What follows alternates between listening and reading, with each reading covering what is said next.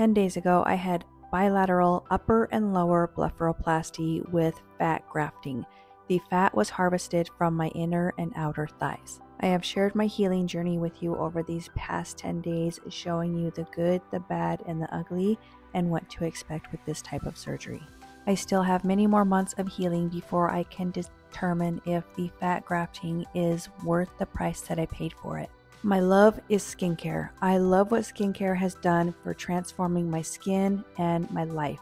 I'm not only here to help women in recovery, I'm here to help all women to establish a skincare routine that is going to make them feel beautiful and confident. I like to teach what skincare ingredients do versus buy this brand of skincare. In order to have a good, effective skincare routine, you need to make well informed choices of what skincare products your skin needs.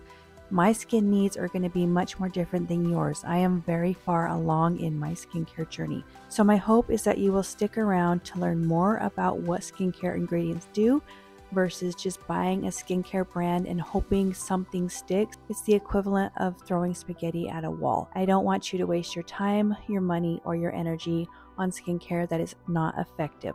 I also teach chemical peels, microneedling at home, fitness, and beauty like makeup. So I hope you'll stay subscribed because my hope is to help you get the best skin of your lives. Of course, I'm going to be doing more updates on this. I'll do a one month, a three month, a six month, a nine month, and a one year check in. This has been an emotional journey of ups and downs, not looking like myself, and now I'm starting to look more like myself and worried that the fat grafting is not going to take. I guess time will tell. Thank you for being a part of my community. I will see you in the next video. Bye.